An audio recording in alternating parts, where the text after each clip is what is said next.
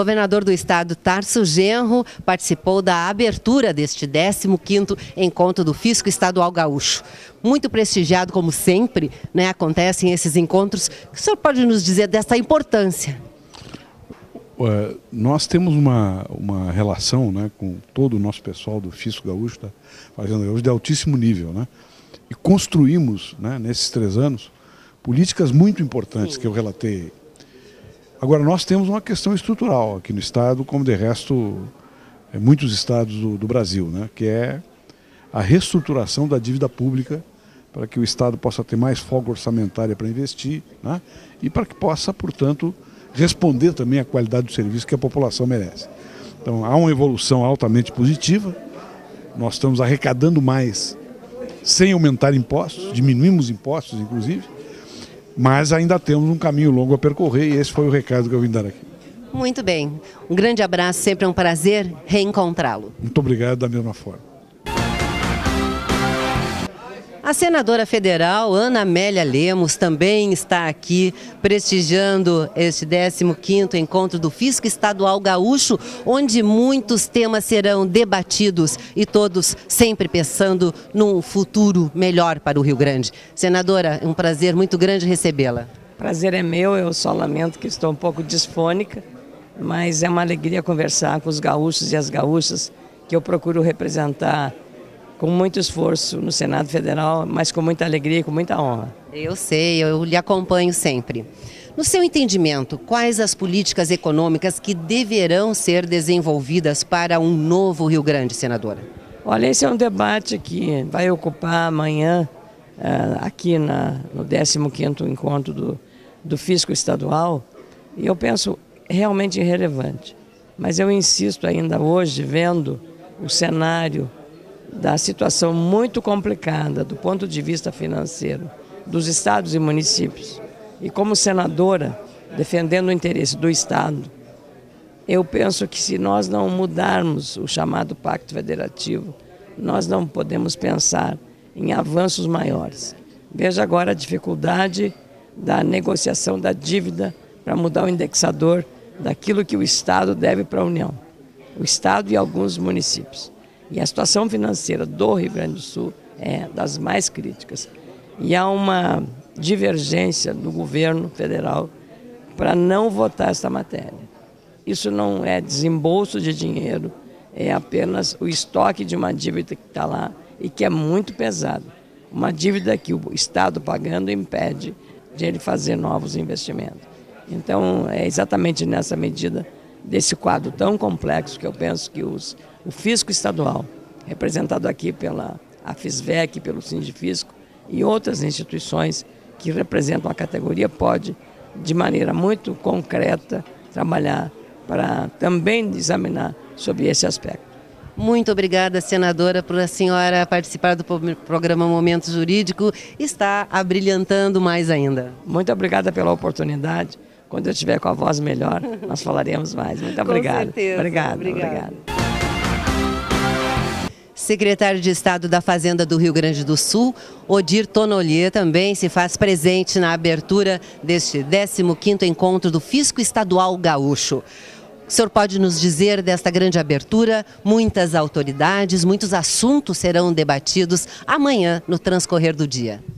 É uma oportunidade, um evento importante para a nossa Secretaria da Fazenda, onde aqui efetivamente é, trazemos aqui autoridades, trazemos o nosso pessoal para debater questões que são essenciais, que são chaves para o nosso Estado, para a sustentação do Estado e também para que a gente pense o Estado. O que fez, eu acho que muito bem hoje, o governador Tarso Genro, onde colocou, né, colocou, onde apresentou o que, que ele imagina, o que, que, ele, que, que ele pensa para o futuro do Estado. E eu acho que isso é de que, diferente talvez do passado, a gente deve se debruçar mais no futuro do que no passado. Eu acho que me parece que esse é o desafio que o governador apresenta, que a gente discuta o futuro, que é isso. É, temos que pensar muito mais no futuro, secretário. Do que ficar fazendo um balanço do passado. Eu acho que isso representa uma é, uma reversão importante é, do que às vezes a trajetória dos nossos debates apresentavam. Agora, o que o governador propõe é que a gente fale sobre o futuro. E eu acho que esse evento é, apresenta isso ao dizer qual é o estado que teremos em 2018. Então, acho que o governador, houve aí uma sintonia muito forte entre os organizadores e o governador que veio aqui falar efetivamente de futuro. É, e um tema bastante pertinente para o momento. Exatamente, é tempo pertinente porque agora nós temos um debate, nós temos um debate eleitoral onde a população gaúcha é, vai pensar, vai pensar e vai escolher aí os rumos do seu futuro. Eu acho que é isso é, que acabou sendo oportunizado aqui nesse encontro. Além dos debates que teremos mais alguns até técnicos, mas é, como uh, digamos a importância da categoria que tem, não tem nós temos que também, né, nós temos que também contextualizar tudo isso num ambiente político que é, nós todos somos um pouco. Correto. Muito obrigada, foi um grande prazer recebê-lo no Momento Jurídico. É sempre muito bom reencontrá-lo, tá secretário. Muito obrigado e boa noite a todos. Boa noite. Vou conversar agora com João Mota, que é o secretário do Planejamento e foi quem proferiu a conferência inaugural deste 15º encontro do Fisco Estadual Gaúcho. O senhor está participando pela primeira vez como conferencista neste encontro. O que o senhor está vendo? Como o senhor está vendo, então, os debates que serão promovidos neste encontro? Ah, um debate muito qualificado. Aqui nós temos representado uma parte do Serviço Público do Estado constituído por técnicos de alto nível. Portanto, vi num ambiente em que os debates sobre ideias, estratégias, diagnósticos, leituras sobre temas importantes como programas de desenvolvimento, situação financeira do Estado, é fundamental. Portanto, a sensação que a gente tem quando participa de um evento desses é que a gente está semeando em terra fértil ou seja, fértil de ideias, de pensamento, de crítica, e essa era a nossa intenção, ao aceitar o convite, expor minimamente um roteiro resumido da estratégia que o atual governo lançou mão para fazer com que o Estado voltasse a crescer, se somando aos demais estados, puxando a economia brasileira, porque é esse o lugar que o Grande Sul deveria estar. Mesmo reconhecendo os limites nossos do ponto de vista da dívida, da crise da Previdência, mas nós temos que procurar alternativas para tudo isso. Portanto, achamos que o debate ele pode, evidentemente, trazer mais insumo, mais ideias para o desafio de nós pensar o futuro do Rio Grande do Sul. Secretário, na sua palestra, o senhor desenvolveu o tema sobre realizações e participações do atual governo para o desenvolvimento do Estado. O senhor já nos falou bastante a respeito deste planejamento que é necessário acontecer para que o Estado se desenvolva melhor. Exatamente, nós temos que ter cuidado com o equilíbrio fiscal do Estado, não podemos nos descuidarmos da lei de responsabilidade fiscal, por isso, grande parte, inclusive, dos, das nossas, dos nossos empréstimos foram empréstimos para deixar estável a nossa, o nosso fisco, a nossa, o nosso controle financeiro do Estado, mas de outra parte também tivemos que mirar novas janelas de atração de crédito, financiamento e investimentos privados e públicos no Estado. Com isso, eh, não perdemos muito tempo e hoje o estado do Rio Grande do Sul é um dos estados que mais acessa recursos e verbas do governo federal e que mais captou investimentos privados para aí sim nós retomar uma visão de transição, de uma estratégia de desenvolvimento que prepara de fato um outro futuro, uma outra perspectiva econômica para o estado do Rio Grande do Sul. Muito obrigada e cumprimentos pela palestra. Muito obrigado. Parabéns aí pelo evento dando continuidade aos trabalhos que estão sendo desenvolvidos neste 15º encontro do Fisco Estadual Gaúcho. Vou conversar agora com o Celso Malhane de Souza, que é o presidente do Sindifisco RS, um dos realizadores deste grande evento. Celso, nos fale da importância deste evento. Então, em primeiro lugar, dizer que é uma satisfação falar a ti e aos teus telespectadores, dizendo que sim, o, o evento se demonstrou na prática de grande importância, porque nós desenvolvemos o evento com o seguinte questionamento: 2018, que Rio Grande teremos? Então, nós podemos trazer as diversas representações das correntes políticas que comandam a política econômica e desenvolvimentista do nosso Estado ou que são aspirantes a comandar esta política econômica e desenvolvimentista. Os desafios são grandes e nós ouvimos de todos esses segmentos da política e da sociedade gaúcha as suas impressões e as suas propostas para enfrentar os desafios que o Rio Grande tem para serem enfrentados, para que se possa desenhar uma perspectiva mínima de desenvolvimento para esse Estado e para que esse Estado ocupe a posição que ele merece no cenário nacional brasileiro. Então, nós podemos ouvir, e vocês ouviram, as correntes que exercem e que pretendem o poder no nosso Estado, sobre temas como, por exemplo, a dívida mobiliária do Rio Grande do Sul, que hoje consegue ceifa até 15% do nosso orçamento, do nosso dinheiro, do dinheiro do nosso povo.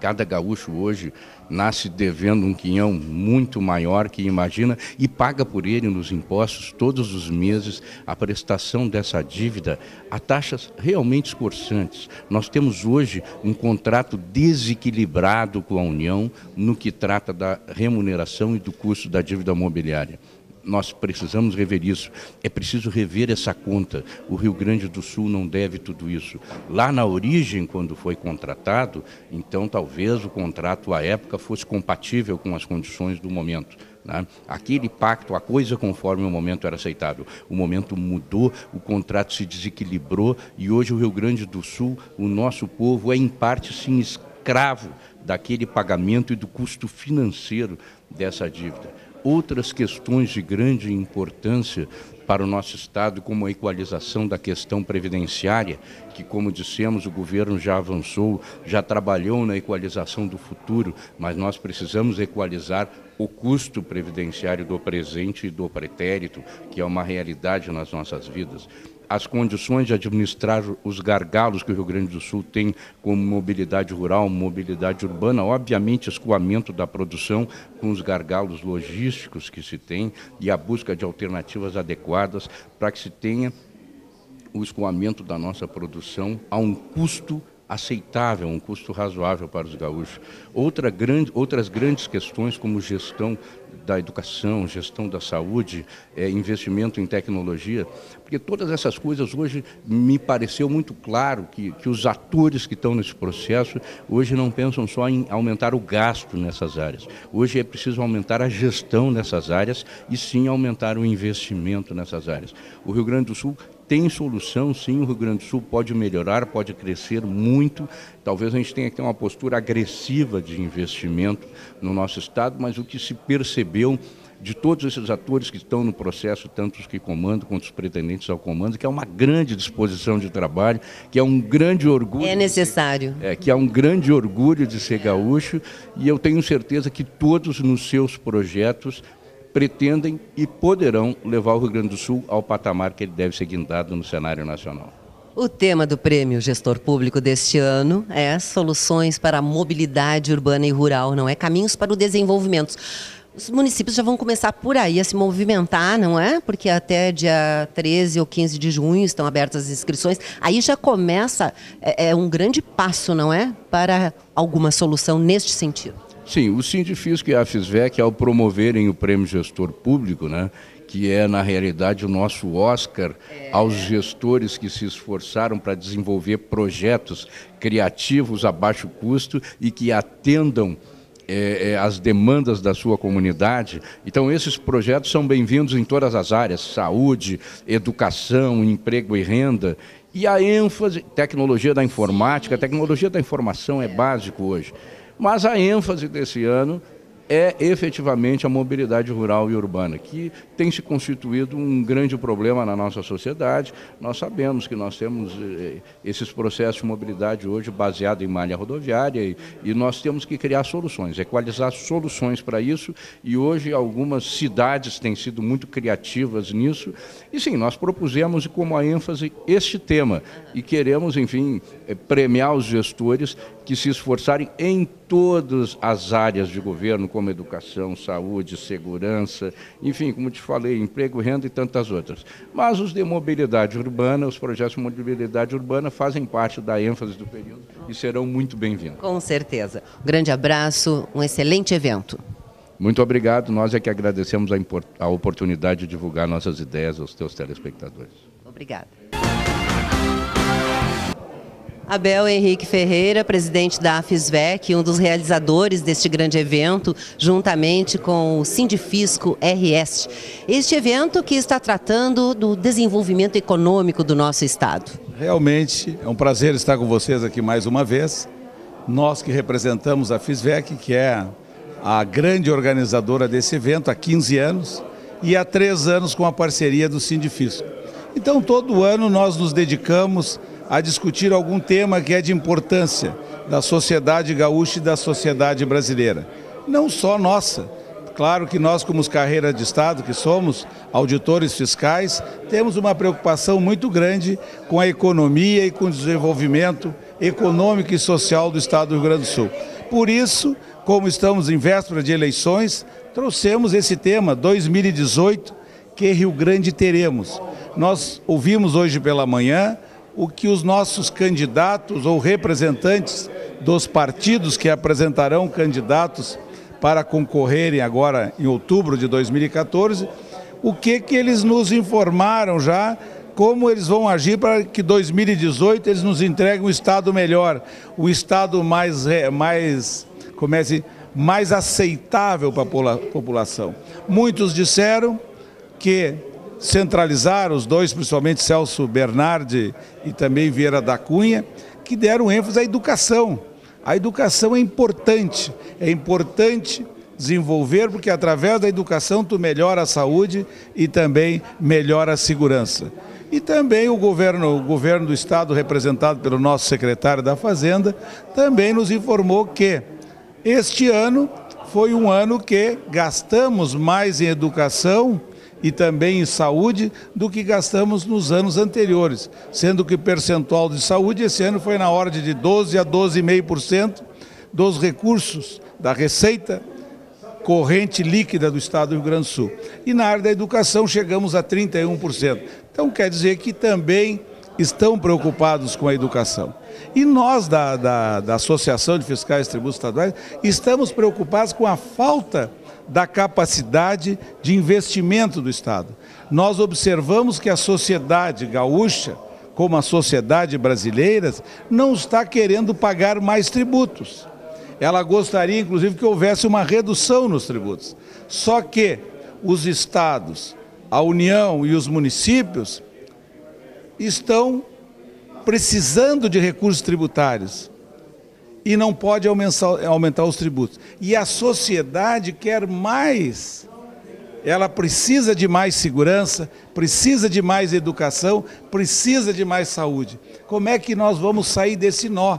Por isso que, que, que trouxemos aqui para ouvir um jurista falando sobre o federalismo fiscal brasileiro, trouxemos um economista falando dos problemas da economia que esse Estado, ele faz parte, ele é que dirige essa economia do Estado, e também trouxemos o Luiz Pierri, que é um profissional que está há 20 anos aí trabalhando na integração público-privado. Está tentando ajudar não só o público, mas também o privado. Por quê? Isso aí é essencial para desenvolver. Mas chegamos de novo, falta de recursos para investimento. O nosso último palestrante, o colega Eugênio Lago, falou que na época que ele era jovem, há 60, 50 anos, porque ele nasceu há 60, com 10 anos, ele queria conhecer asfalto. Ele morava em Teutônia, tinha que fazer uma viagem de não sei quantos quilômetros para ir a Montenegro para conhecer asfalto. Claro que hoje estamos melhores, mas não temos, temos muitos municípios no nosso estado do Rio Grande do Sul que ainda não se ligam ao asfalto. Então isso aí é, isso aí é terrível para o Estado. Por quê?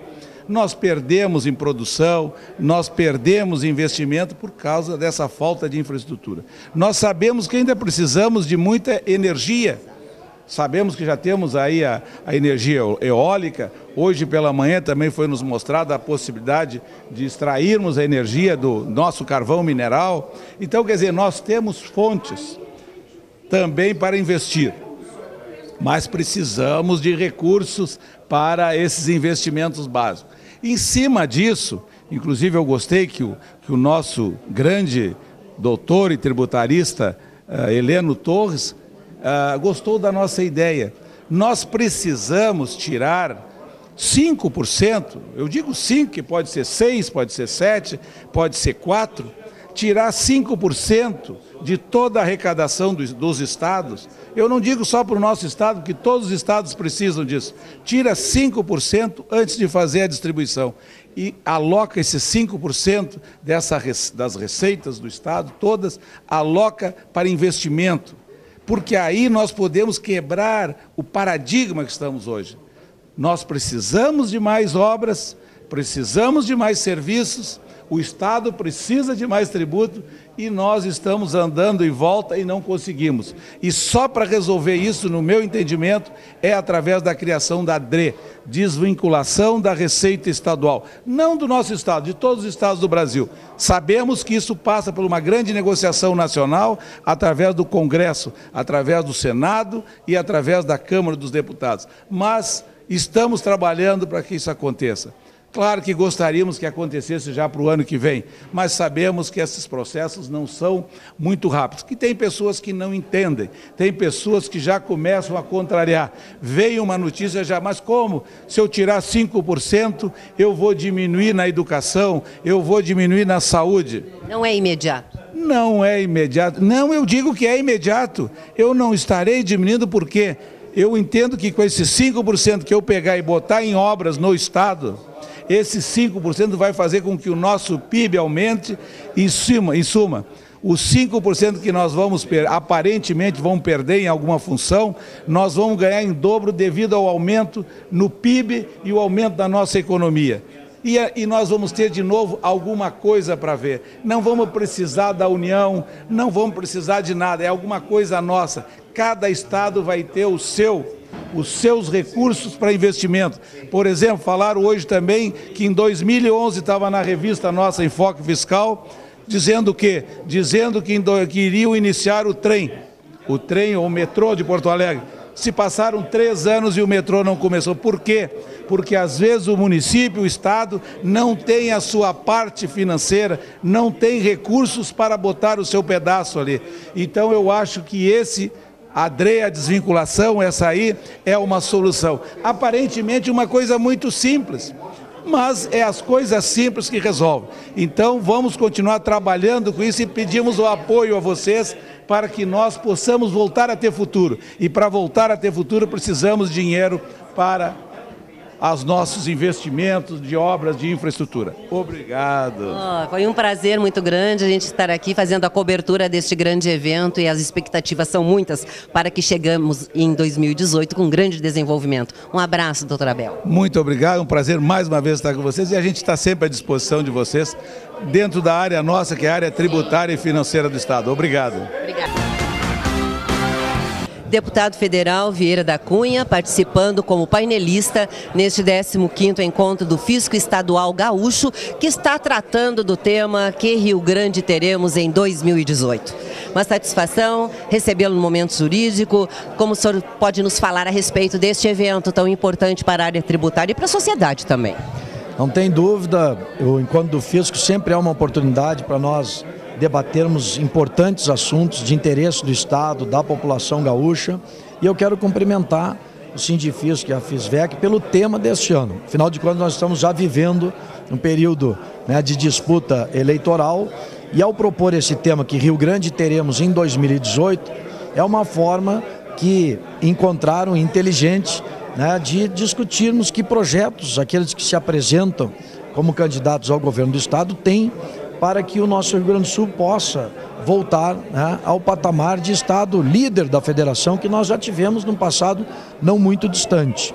De uns tempos para cá, lastimavelmente, nosso Estado vem enfrentando diversos problemas e a dívida é um deles, hoje é um dos estados mais endividados da nação, o que tem sufocado a nossa capacidade de investimento e quando nós não temos recursos para investir, os serviços públicos se deterioram.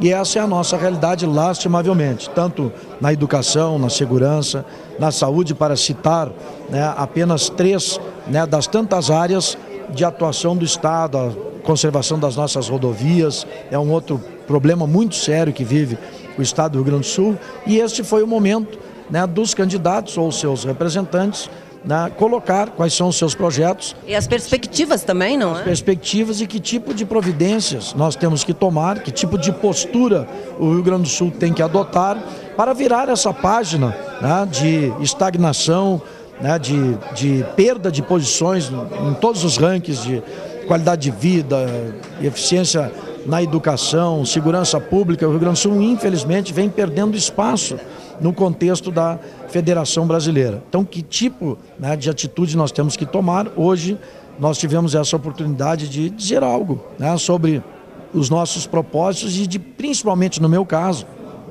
de pedir a parceria e a imprescindível contribuição dessa categoria tão importante, auditor fiscal da Receita, para que nós possamos é, implementar as nossas propostas, porque sem receita, sem recursos, né, o Estado não tem condições Nada acontece, né, de não é deputado? cumprir né, a, sua, a sua missão.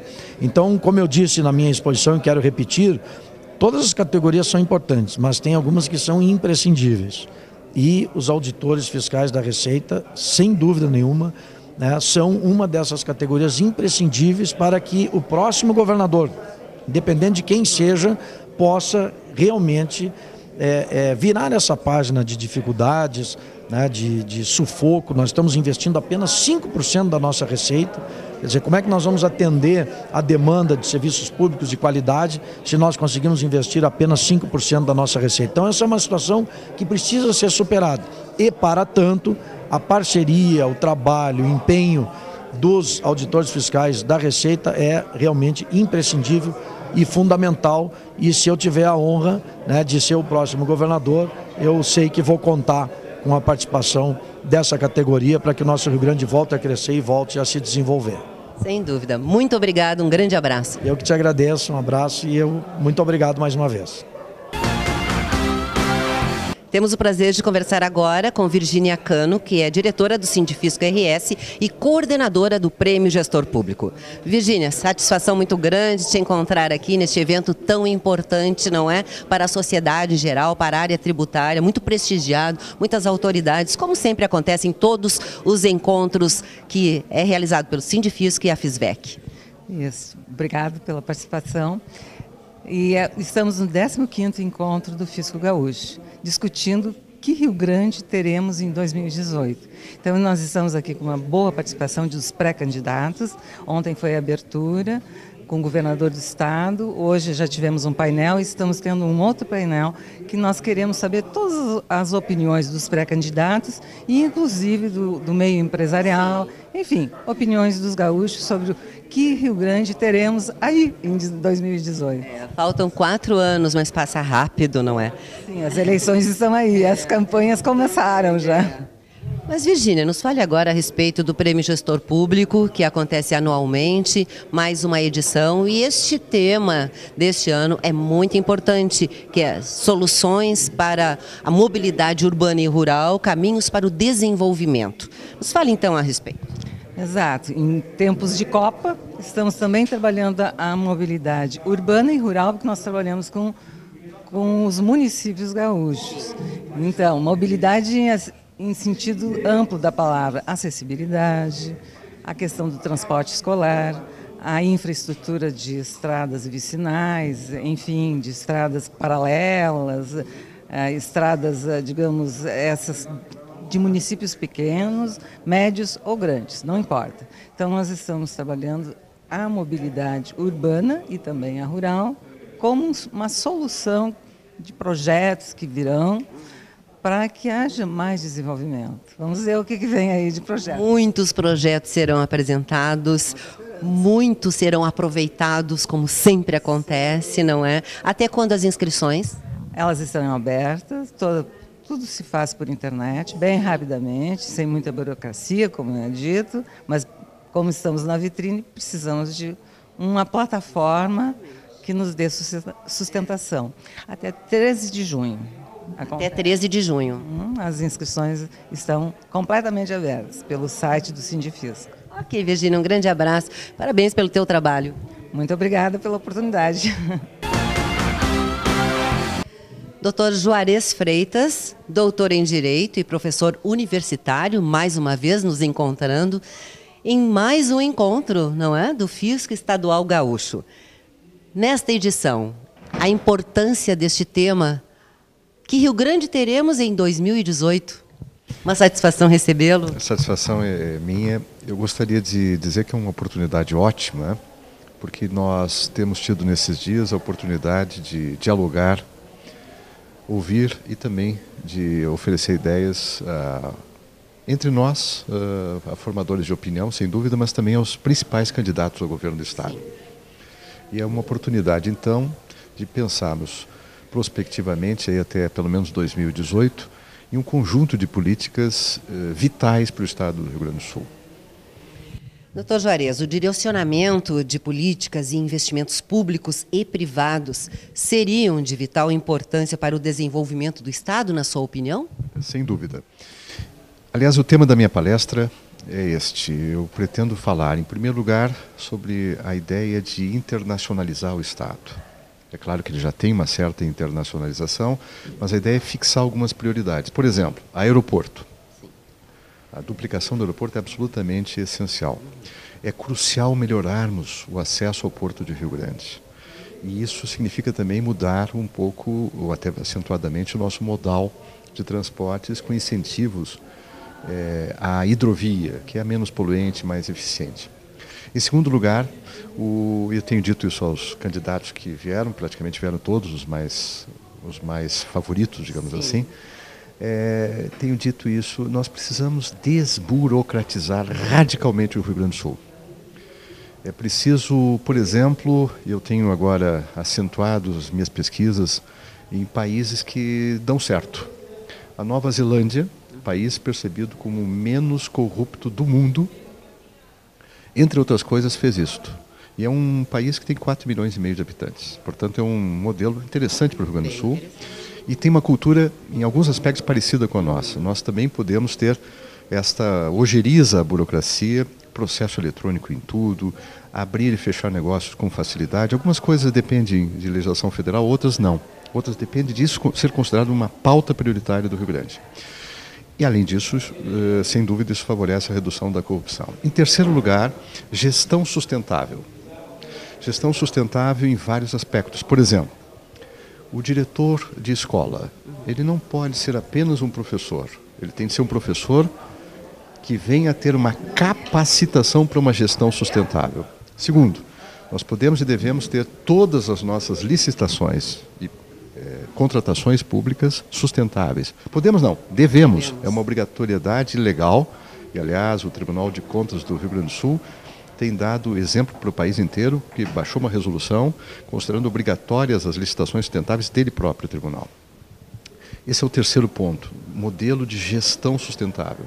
E ainda o modelo de energia sustentável. Novamente, o Rio Grande do Sul eh, tem que ser líder, líder nacional e, por que não, líder eh, internacional de inovação. Mas inovação no sentido de uma nova matriz energética. Com estes pontos, todos eles factíveis, todos eles viáveis, mesmo no horizonte de pouco tempo, de quatro anos, é possível mudar inteiramente a fisionomia do Rio Grande. Do que depende, doutor Juarez? De dois, Essas mudanças todas? De dois pontos. Um primeiro, um pressuposto material. O Rio Grande precisará, sem dúvida alguma, renegociar o índice da sua dívida. Isso é pacífico. Eu já estou como certo que isso vai acabar acontecendo. Isso é viável, então? Perfeitamente viável, do meu ponto de vista, inclusive do ponto de vista jurídico, a lei de responsabilidade fiscal tolera e admite isso. Agora, o segundo ponto, a segunda condição, é que as nossas lideranças de gestão pública aprendam a trabalhar com foco em prioridades. Não é possível, não é razoável sequer cogitar de fazer tudo. Elencar, arrolar prioridades e então se concentrar nelas e reunir o Rio Grande em torno delas. Sempre uma satisfação muito grande, muito obrigada. E o programa Momento Jurídico se sente muito envaidecido com a sua presença. A honra é minha. Vou conversar agora com o deputado federal e ex-prefeito de Pelotas, Irajá Andara Rodrigues. Uma satisfação muito grande encontrá-lo aqui neste 15º encontro do Fisco Estadual Gaúcho, onde o senhor apresentou um projeto com algumas soluções que certamente serão viáveis. Sem dúvida, eu acho que o Rio Grande do Sul é extraordinariamente viável, desde que nós voltemos os nossos olhos para aquilo com que a natureza nos brinda. Então, na verdade, nós pretendemos que o Rio Grande do Sul volte a utilizar o seu extraordinário sistema hídrico, que nós, em vez de ficarmos apenas no caminhão, passemos a fazer o transporte da nossa soja, por exemplo, por água, como fazem todos os países do mundo. E o transporte por água é 22 vezes mais barato do que o transporte pela rodovia. Mas não é só isso. Eu propus também que o nosso Estado faça uma reforma agrária, não do tipo da federal que pega e procura os sem terra para dar-lhes terra, o que é muito bom, mas eu quero que se busque o com pouca terra, o nosso colono que está indo povoar o oeste brasileiro todo e com grande sucesso. E nós estamos deixando ir embora essa gente extraordinária que sabe trabalhar a terra, que tem cultura para isso, que tem muita vontade. Para quê? Se eles não receberem apoio, ou eles vão para outros estados e até para a África já se fala, mas principalmente eles vão para a periferia das nossas cidades. Aí o Estado vai ter dinheiro para financiar a compra da casinha dele por 30 anos. Mas então pega esse dinheiro e financia a compra de 10 vezes a terra que ele tem para ele produzir aquilo que nós comemos todos os dias, porque é ele que produz 76% dos alimentos que nós consumimos. Só isso? Não.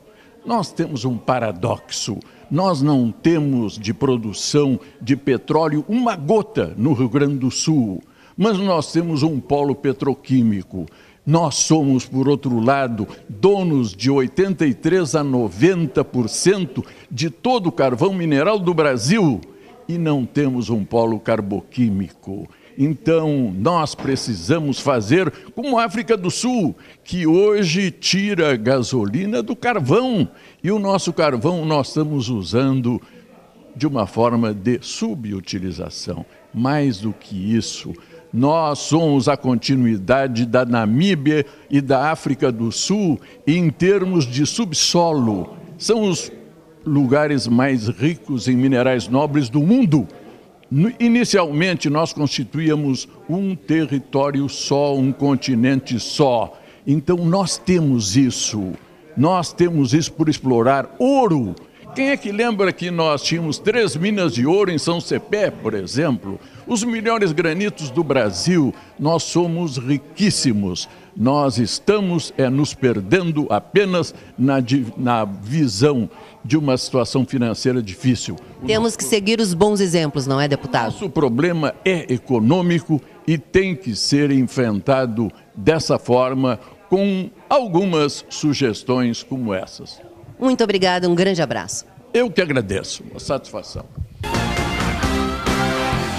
Roberto Kupski, presidente da Febrafit, que também está participando como painelista neste 15º encontro do Fisco Estadual Gaúcho, que está tratando do futuro do Rio Grande do Sul. Tudo bem? Tudo bem. Acho que o tema muito oportuno, escolhido pela nossa FISEG, pelo Fisco, para o Rio Grande que queremos em 2018 e hoje tivemos um debate riquíssimo com proposta de governo de cada segmento que hoje vão, estão prestes a lançar sua candidatura.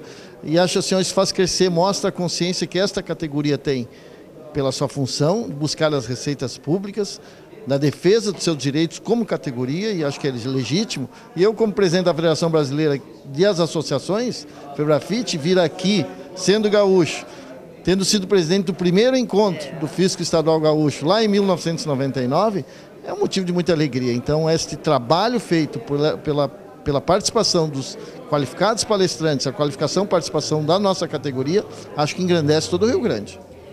No seu entendimento, reforma fiscal ou tributária, como o Estado deve buscar uma autonomia de gestão? É fundamental porque, na verdade, cada vez mais a União concentra os seus recursos. Cada vez mais a União quer tomar conta, quem sabe, do principal imposto estadual, que é o ICMS.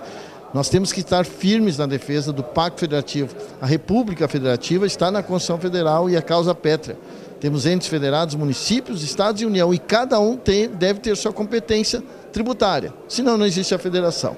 E essa é uma defesa, com certeza, um desafio que nós vamos ter em 2015. Cada governo que entra, temos Congresso Nacional, quem sabe tenta fazer uma reforma, trazendo mais atribuições para os entes federados, estados e municípios e concentrando mais a receita. E nós, como categoria, como federação e cada associação no Brasil, estamos juntos para essa luta na defesa desse pacto federativo.